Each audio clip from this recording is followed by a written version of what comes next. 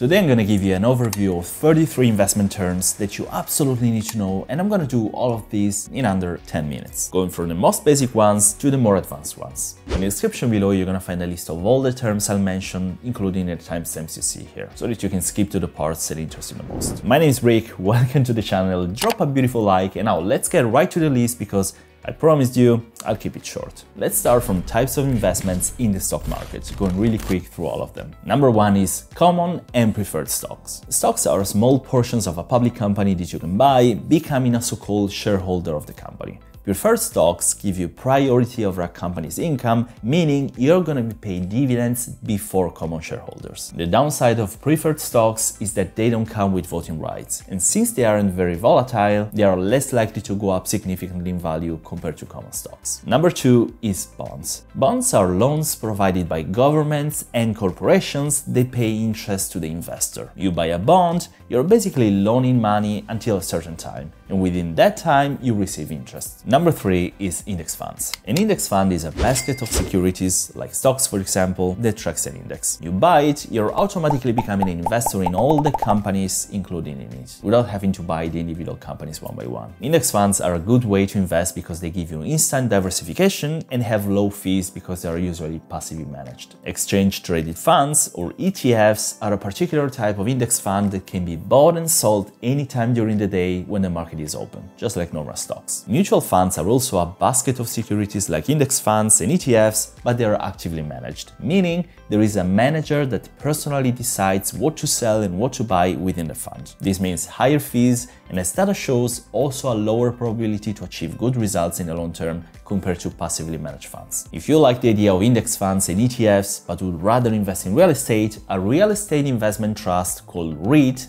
offers a similar solution focused on real estate. If you buy a share of a real estate investment trust, the real estate investing company behind it uses this money to invest in real estate and in turn, you get dividends and possibly a raising value of your shares themselves. Let's move now to market terms, starting by issued versus outstanding shares. Issued shares are all the shares or stock issued by a public company. Some of them are owned or repurchased by the company itself, while all the others are called outstanding shares. Going forward, ask and bid are two really important investment terms. At any given moment in the stock market, there are people that want to buy a stock and people that want to sell it. Each of them is ready to buy or sell at a specific price.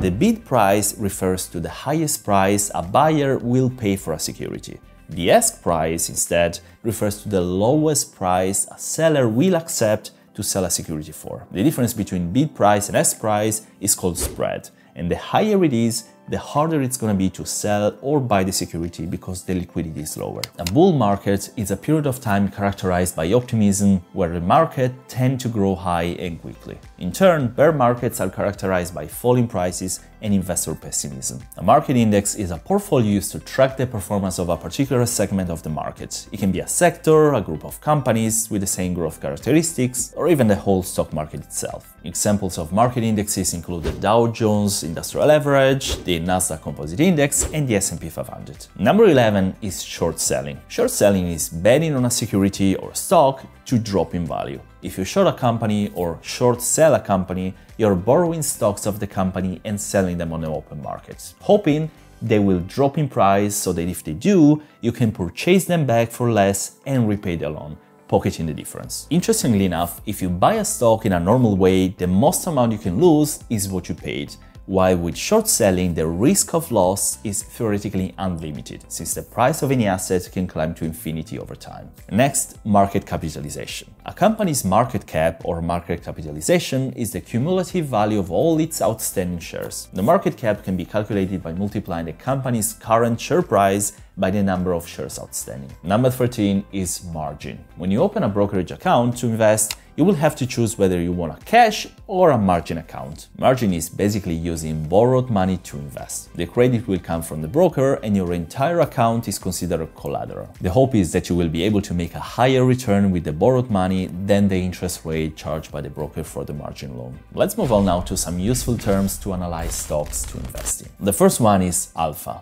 Alpha measures the excess return of an investment relative to its benchmark index. An alpha of 1.0 means the investment has outperformed its benchmark by 1%. An alpha of minus 1.0 means the investment underperformed its benchmark by 1%. Beta is the volatility of a security against the market as a whole. A beta greater than 1.0 means it's more volatile than the markets. A beta less than 1.0 means the security or portfolio is less volatile than the market. The Sharpe ratio is a measure for calculating the risk-adjusted rate of return of an investment. The higher the Sharpe ratio, the better the returns have been relatively to the risk and volatility. Earnings per share, or EPS, are the net earnings of the company divided by the number of common shares outstanding. A PE ratio or price to earning ratio is a ratio between the price of a share and the earnings derived from it. For example, if a company stock is trading at $100 per share and is expected to earn $4 per share, its PE ratio would be 25. The lower the PE ratio, the better. A 10K is the most important annual financial report of a public company and is publicly available on their websites. In the 10K, you'll find a full explanation of the company, including things like risks, plans, and financial statements. Number 20 is assets. An asset is anything that can grow in value or generate an income. Cash is an asset, for example, as well as securities such as stocks and bonds, as well as real estate. A liability instead is something that causes you to lose income or that loses value over time. A debt is a liability because it causes you to pay interest and things like a phone or a car are liabilities because they lose value over time. Return on assets is a metric that indicates a company's profitability in relation to its total assets and is calculated by dividing its net income by its total assets. An efficient company manages to generate higher profits than an inefficient one given the same assets. So the higher the ROA, the better. Return on equity is a similar ratio to the return on assets, but instead of dividing the net income with the assets, you divide it by the shareholders' equity, which is assets minus debts. That's why the ROE is also considered the return on net assets. The return on invested capital ROIC gives a sense of how well a company is using its capital to generate profits. It's calculated by dividing net operating profit after tax NOPAT by invested capital. EBITDA or earnings before interest, taxes, depreciation and amortization is another measure of profitability to net income. To calculate it, companies sum net income with depreciation, amortization, taxes, and debt payment costs. What comes out is a representation of the cash profit generated by the company's operation. Moving to the next, the annual turnover ratio is the percentage of the holdings of an index fund or mutual fund that have been replaced within a year. For example, a mutual fund investing in 100 stocks and replacing 60 stocks during one year has an annual turnover ratio of 60%. The expense ratio is the total percentage of the fund's assets that you're going to pay yearly as fees. Fees include management costs of the fund, record-keeping costs, taxes, legal expenses, and accounting. An expense ratio of 1% for a fund would mean that every year 1% of your fund portfolio value is taken out as fees. The net asset value or NAV, which you'll often see when you check the performance of an ETF online, is the daily price per share of the fund.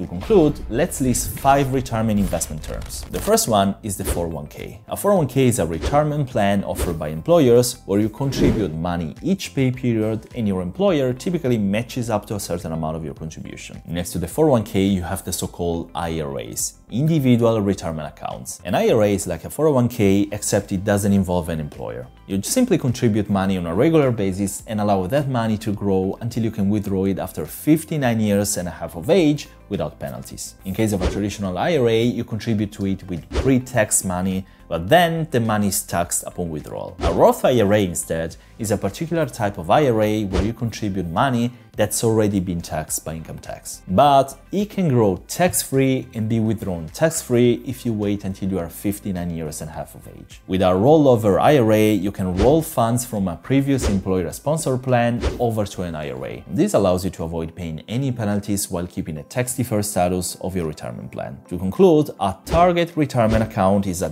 diversified portfolio that over time readapts the mix of stocks and bonds based on how close you are to retirement, reducing the exposure to risk investments over time. I hope that this list was useful. If it was, don't forget to drop a beautiful like and subscribe to the channel for future videos on investing and finance. If you have any doubt on any term of this video, just drop a comment below and ask whatever you want. If you're interested in an introduction to ETF investing or index fund investing, check out one of these two full guides here. And guys, thank you so much for watching. I wish you a great day or evening And as always, I'll see you in the next video. Ciao.